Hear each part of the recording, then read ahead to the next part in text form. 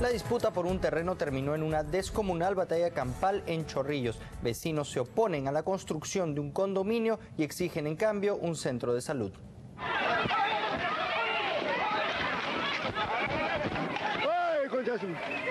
Bueno, en este estamos siendo agredidos. Ellos han venido en grupo y a mí me han agarrado, me han tirado. Acá en palo, me, han aventado todo, me han, golpeado acá. Yo me he defendido, mire, acá también me han hecho.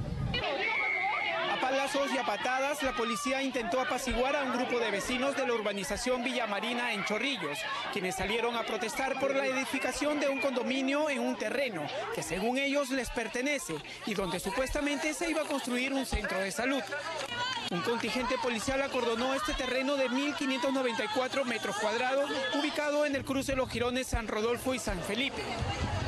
Según esta resolución suprema del año 1978, el terreno fue cedido al Ministerio de Salud para la construcción de un centro médico. Desde el año 2002 hay un expediente que ha enseñado todo, está el estudio completo, pero por descuido, digamos, del mismo Ministerio de Salud que no se llevó a construir este local. Hemos venido a garantizar al Ministerio de Vivienda en un terreno que ustedes en este momento están acá para lugar, el lugar donde va a ejecutarse la construcción de viviendas para las personas caídas en Imbagua.